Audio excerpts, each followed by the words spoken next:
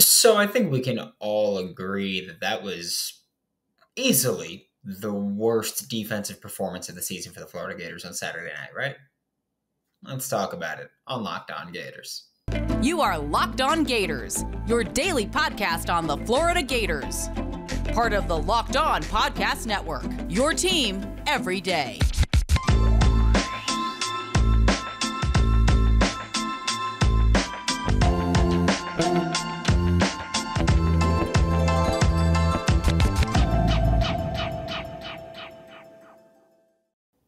Hello, and welcome back to another episode of Locked On Gators, part of the Locked On Podcast Network, your team every day. Thanks for making Locked On Gators your first listen of the day. We are available daily and free wherever you listen to podcasts. Happy Monday. I'm Brandon Olson. Find me on Twitter at WNS underscore Brandon. Find my written work with Whole Nine Sports and Giants Country of SI.com.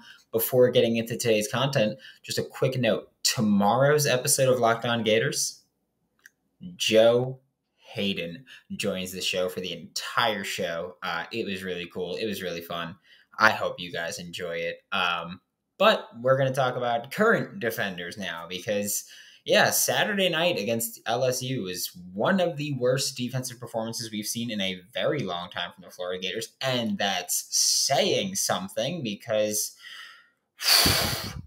Todd Grantham was the DC for a bit, uh, and and it was bad. Um, there is no other way to put this than Florida made Jayden Daniels look incredibly good, and that's not even me taking anything away from Jayden Daniels. I have very publicly been not very high on him, but me saying Florida made him look very good, it's just it, it is what it is. He he took what the defense gave him and capitalized on just about every single opportunity yes, we could talk about how Jason Marshall's interception got overturned because of a stupid and horrible Gervon Dexter roughing the passer call that just made no sense. Like, it's a tackle, dude. It, it's a tackle. It, it was nothing extra.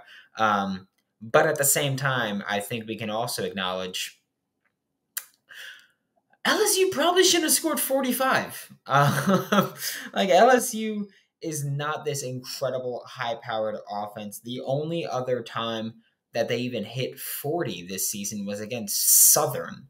So there's that. But Jayden Daniels, 23 of 32 passing, 349 yards, three touchdowns. He also had 14 carries, 44 yards, and three rushing touchdowns. Incredible performance from Jayden Daniels. It was fantastic. And then we talk about what the Gators actually did, which was horrible, by the way. Um, and I will say this because I've seen it on Twitter, I've seen it in my own comment section. I get it. The Gators looked bad on Saturday. I think most of us accept that the Gators right now genuinely don't have enough talent on their roster.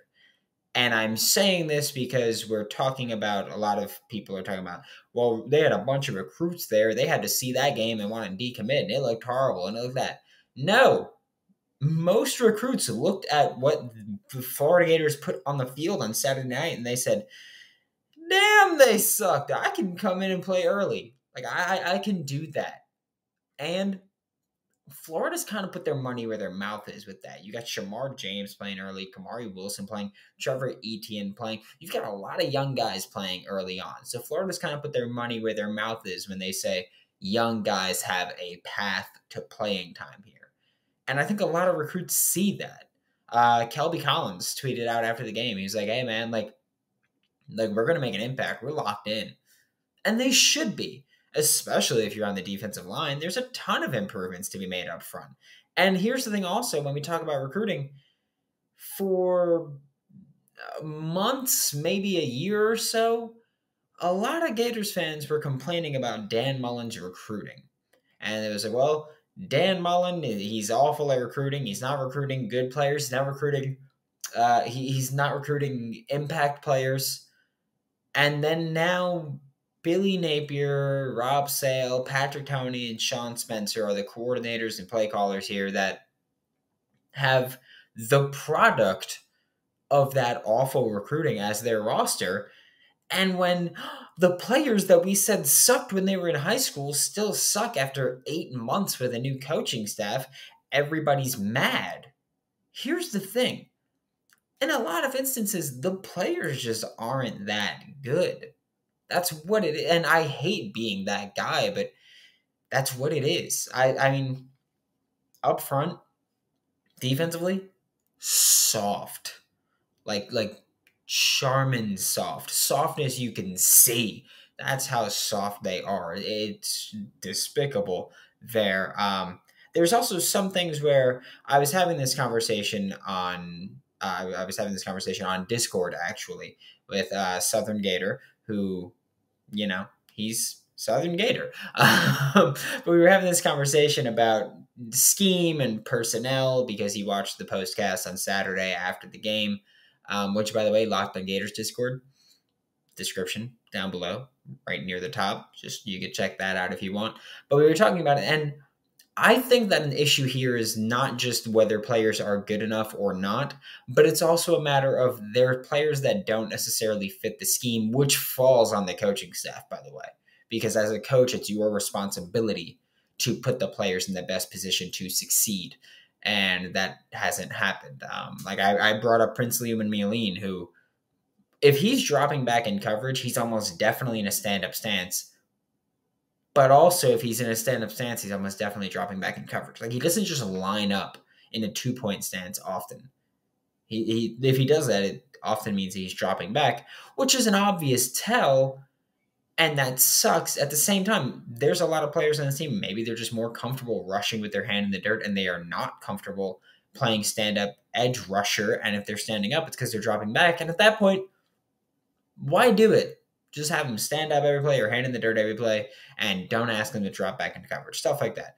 Here's the thing also that I discussed on Saturday in the postcast um, and in the Discord extensively. Jaydon Hill can't play man coverage, and it's to no fault of his own. His knee's just not ready. I said it before the Eastern Washington game, before his comeback, before his debut here. I said his knee's not ready for man coverage. He needs to play zone. It's not a knock on him. It's just it's just how his health is working out, how his recovery is working out. I'm sure he's working his damnedest to fix it and get ready, but he's just not ready to play man coverage. He's been targeted incessantly. He's play, I think the number is he's played 63 coverage snaps in the 3 games he's played. He's been targeted 18 times.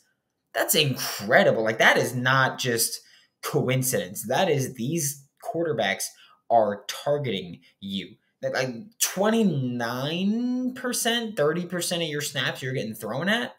No, like that's that's something where they're targeting you because they know you're not ready yet.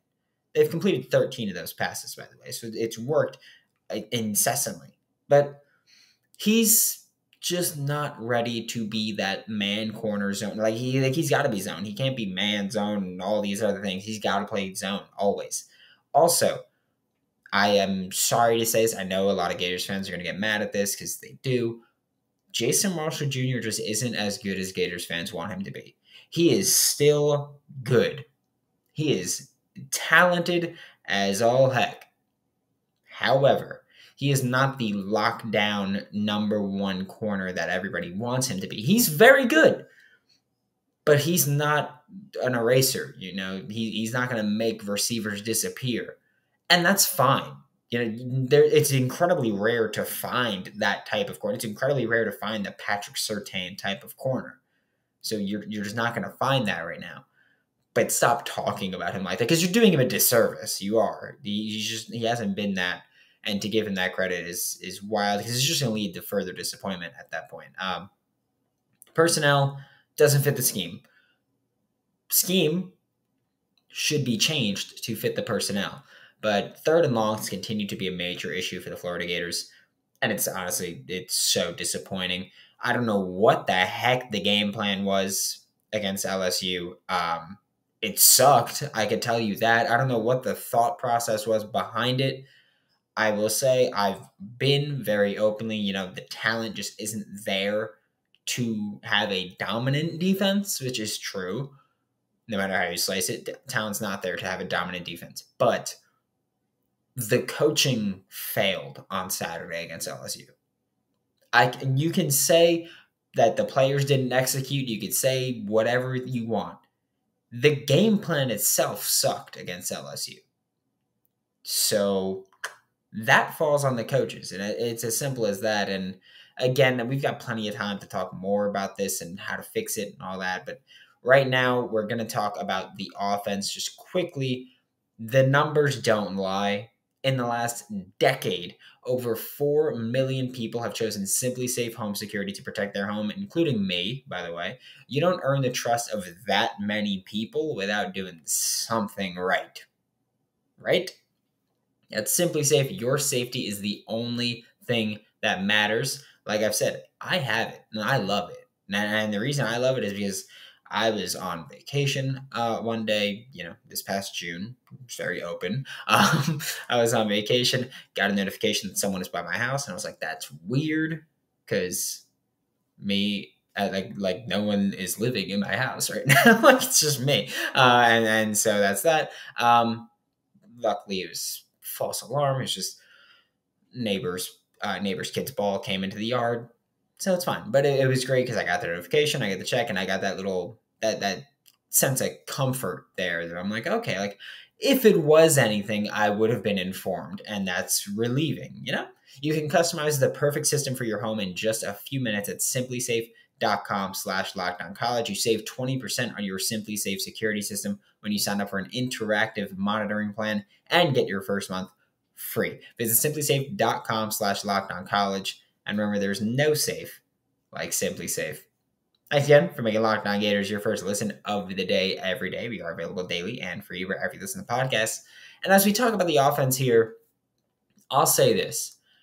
It's hard to blame the offense in this game at all um, when you consider, you know, uh, 28 points early on and 35 points total and I mean, it's also hard to blame the offense because the defense just kept letting LSU waltz into the end zone.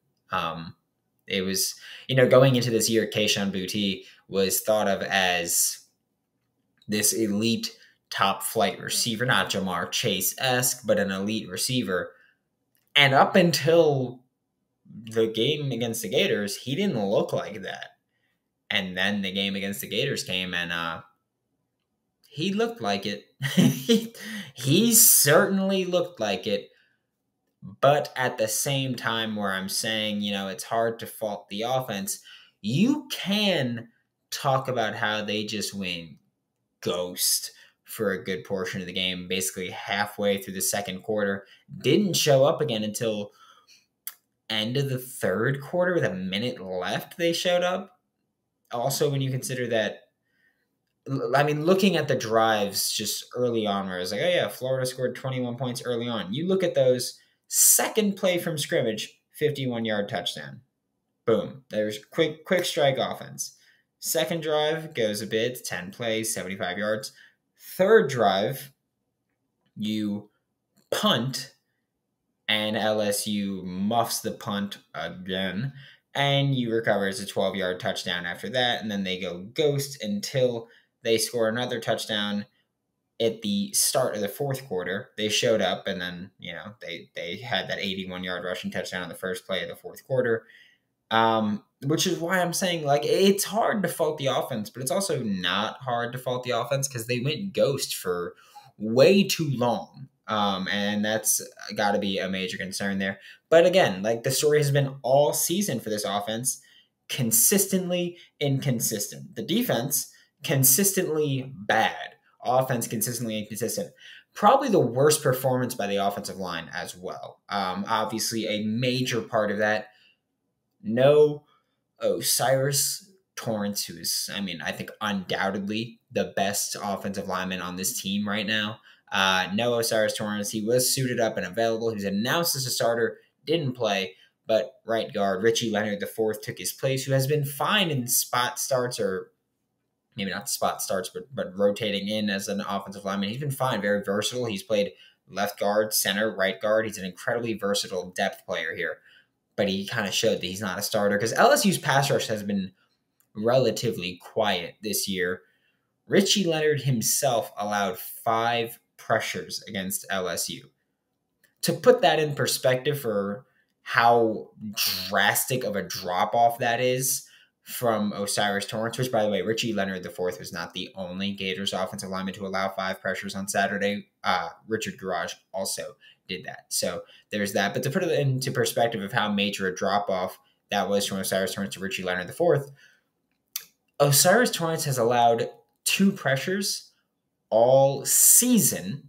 Richie Leonard allowed five on Saturday night. That's an insane drop off. Um, and again, that's just not really, like that's not really something to work around. That's just a big talent drop off, and that's not a knock on Richie Leonard either. It's also important to talk about how we said this is probably the worst offensive line performance uh, just as a unit this season. That's what happens oftentimes when you have a new person. Because I've said this for so long, and I will always say it: an offensive line. It does not matter the individuals you have on there. Oftentimes, it's a matter of the unit as a whole, like the chemistry of the unit. You don't have that without O'Cyrus Torrence because when you're starting someone else, that messes with the chemistry. Not that, I mean, it could have been better, could have been worse. It was worse significantly. Also, looking at Austin Barber and Michael Tarquin rotating in a couple of possessions, there was that. I will say, I, I have some issues with the play calling. I liked some of the things they did. I didn't like other things. I think my biggest gripe with the play calling from Florida versus LSU game that second play from scrimmage, 51 yard touchdown, Anthony Richardson to Justin Shorter. Deep down the middle of the field. It was a skinny post. We saw it. It was the same play that they started um, Eastern Washington game with. Same play from scrimmage. The Gators did not attempt another pass 20 plus yards downfield after that. There were no passes that went 20 yards past the line of scrimmage after that throw. The second play from scrimmage, and then you just go, well, we had a shot play to start the game and it worked wonderfully. Why would we do it again? Makes no sense to me. Uh, that is just that that's that might be the most egregious, horrible offensive call we've seen this entire season for the Florida Gators. Genuinely, just that decision sucked. It was bad. Uh, then one thing that I did like that they do was Florida used a lot of pre-snap motion. Uh, I, I'd have to look at the actual numbers, but I feel like there was more pre-snap motion in the LSU game than any other Gators game this season, which is good. I like pre-snap motion; it helps you identify what the defense is doing. And one of the things was that Florida would use these pre-snap motions with wide receivers as fake, whether it was end around, uh, whether it was a fake sweep, touch pass, whatever you want to call it. And they did that. And they would occasionally give them the ball. And that's what I like because early in the year, we saw they would give them the ball without enough fakes. And then a couple games in, they would do the fakes and not really give them the ball. And against LSU, they kind of worked in an, an, an okay mixture of both. Uh, you, you kept them honest and that's kind of what's important to me. I think that that just showing that you're willing to do whatever it is that you are kind of faking, I think is important because you know Georgia's got Georgia's got tape that they're going to watch on this Gators offense, and they're going to go, okay, well, they they actually will hand it off every now and then, and they're going to have to kind of adjust for that. So, I think that this was maybe the best mix of that. We're about to take a look at how recruiting played into or how recruiting might have been affected obviously this past weekend because there was a decommit. Oh no. Um, but first we're going to have a quick word from BetOnline because the florida gators were two and a half point favorites heading into the game against lsu and like we've spoken about so much it has continued. The LSU, uh, the LSU, the Florida Gators are yet to cover a game or yet to cover the spread in a game in which they're favored.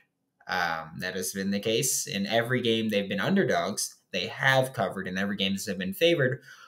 They have not, and they have lost two of the games that they were favored in. And so there's that. And if you want to make money on it, because just know that's the trend. Trends don't lie, by the way, in, in gambling. Check out BetOnline. It's your number one source for all of your betting needs and sports information. I made money on it. I'm not going to pretend that I didn't bet against that. No, I also had an alt line in case Florida did cover the spread and won by a little bit, which they didn't. But I was prepared. But you know, I hedged. I don't care. I'll hedge. I don't care. Head to the website today or use your mobile device to learn all about the trends and action. Check out BetOnline. It's where the game starts. To wrap up today's show, we're talking a little bit about recruiting again because there was a decommit for the Florida Gators yesterday. Also, we'll have John Garcia here on Thursday. We're going to go in depth on some yet to be committed players. We'll talk more about this decommitment. We'll talk about what it might mean for the transfer portal. We'll, we'll talk about Gators needing more offensive linemen, more linebackers. Obviously, the two biggest weaknesses right now in this 2023 recruiting class for the Gators. But yes, there was a decommit yesterday. It was, I mean, three or four star, depending on where you look. Uh, Creed Whittemore, athlete. He's playing quarterback in high school. It's very, there's a lot of option stuff involved in it. He's doing great, by the way.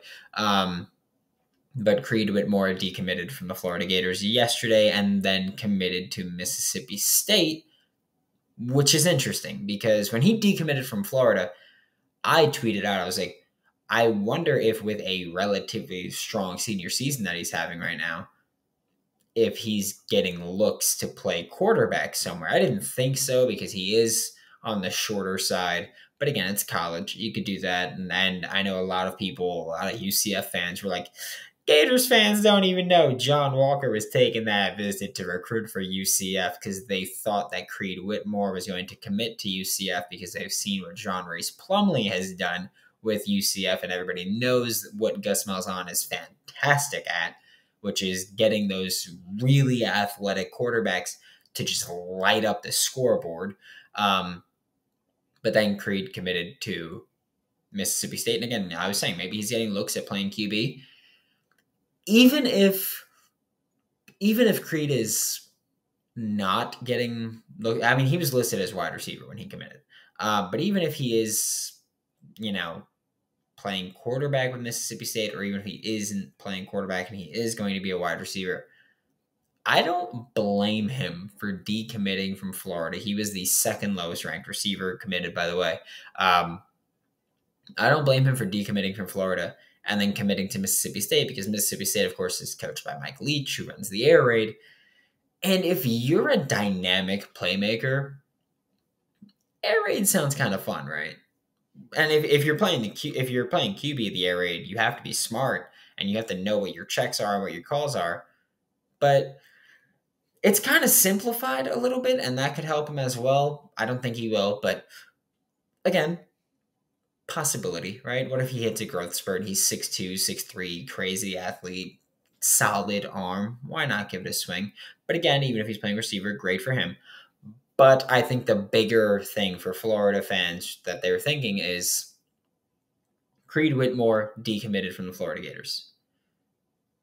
Is this an indicator that Trent Whittemore, who's currently on the Florida Gators wide receiver last year, had a solid year. This year it's been pretty much hidden.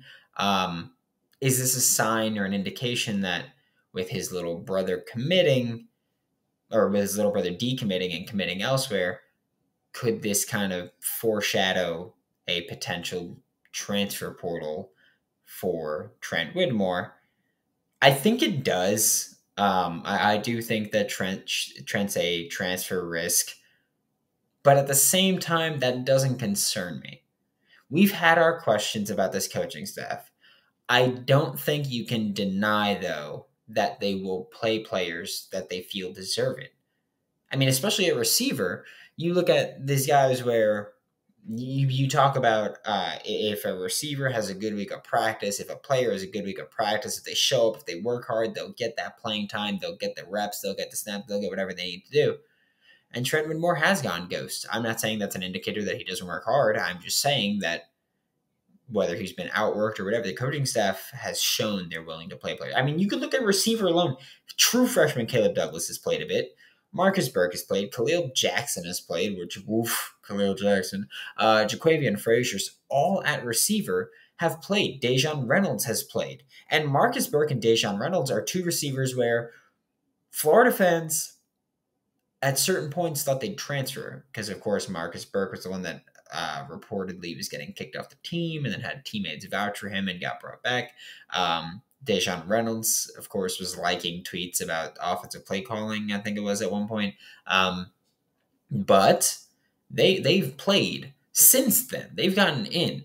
So if Trent Whittemore is in some kind of doghouse, I mean, I I don't care necessarily. Trent Whittemore, he helped last year. This year, he hasn't done anything. He hasn't been on the field. And at receiver, especially, this coaching staff has shown that they'll play the people they think are the best. He's not in that group. I don't necessarily care. And it's as simple as that. Thanks for making Locked On Gators your first listen of the day every day. We are available daily and free wherever you listen to podcasts. We'll be back tomorrow. Don't forget, Florida Gators legend and Hall of Famer Joe Haden will be joining the show. Check out Locked On SEC for your second listen of the day, hosted by Chris Gore, to get the best coverage on the best conference, including the best university, the University of Florida. For Locked On Gators, I'm Brandon Olson. Don't forget to follow me on Twitter at WNS underscore Brandon. Find all my written work with Whole Nine Sports and Giants Country of SI.com, and I'll see you all tomorrow.